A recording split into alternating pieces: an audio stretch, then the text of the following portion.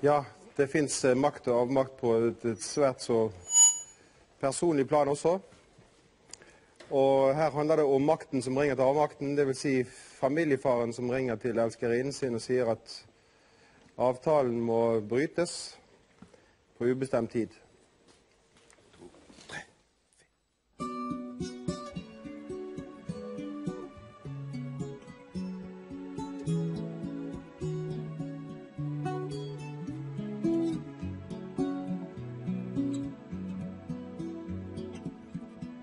På jobben kom en telefon fra en beregnende kujon som hun elsket mer enn noen.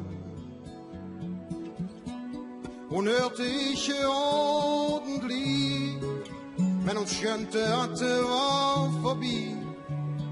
Familien hadde såpass mye å si, sa han.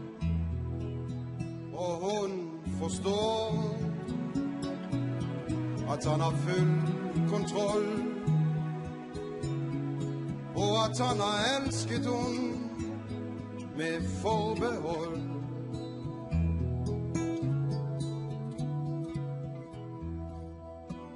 Hun spør om hun får treffe han en gang til.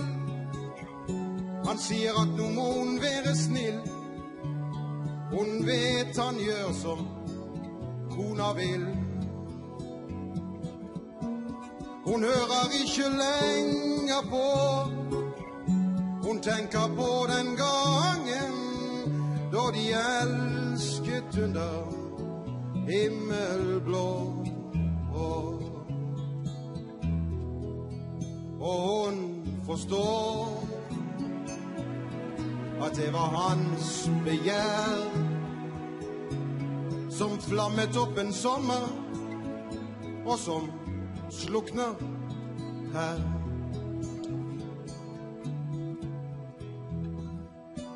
Han sier febrilsk at han må gå. Hun sitter taus, han legger på, og alle tanker går i stå. I går sa han at hun var så fin. Sånn kan et smil bli til et stygt grin som håner deg når du tror at han er din. Men hun forstår at dette kalles svik. Hun tenker det er dumt å bare ringe slik.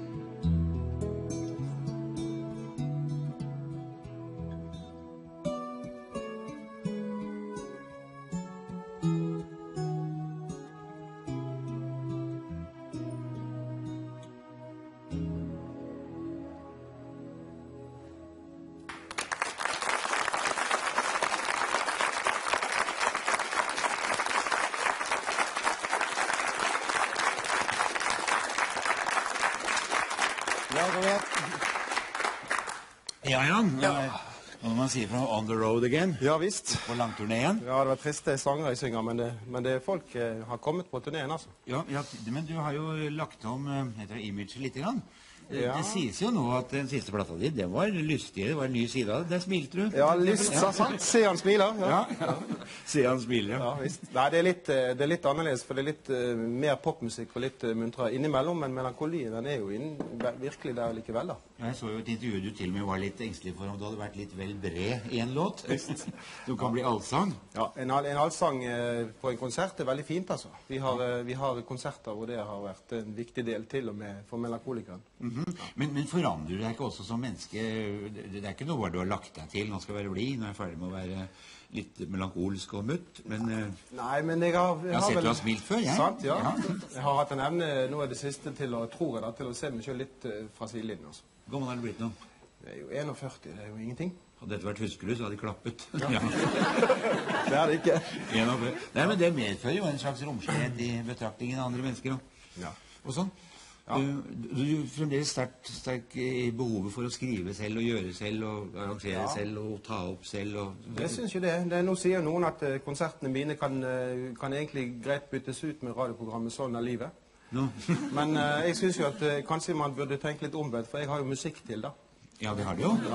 Ja, Og så har du jo eh, en del sånne menneskelige ting som eh, Bruker du rimordbok?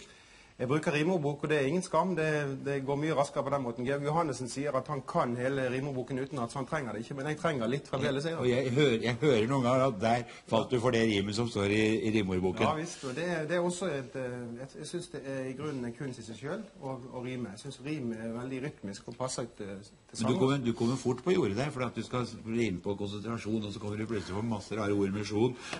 Det er sant.